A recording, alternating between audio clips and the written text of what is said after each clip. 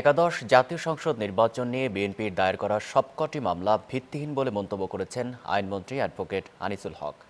সকালে ব্রাহ্মণবাড়িয়ার আখাউড়া রেল স্টেশনে সাংবাদিকদের এসব কথা বলেন তিনি।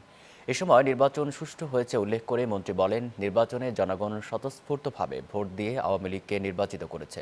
এটাই সত্য। বিএনপিকে এই সত্যটা মেনে নিতে হবে। এছাড়াও সম্প্রতি বাংলাদেশের গণতন্ত্র নিয়ে হাউস অব কমন্সের যে ছয়জন রিপ্রেজেন্টেটিভ চিঠি দিয়েছেন তাদের বাংলাদেশ সম্বন্ধে আরও তথ্যপত্র সংগ্রহ করে চিঠি লেখা উচিত ছিল বলেও মন্তব্য করেন আইনমন্ত্রী।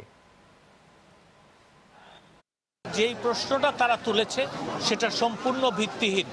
নির্বাচন সুষ্ঠু হয়েছে এবং জনগণ স্বতঃস্ফূর্তভাবে নির্বাচনে ভোট দিয়ে আওয়ামী লীগের শেখ হাসিনার নেতৃত্বের সরকারকে নির্বাচিত করেছে।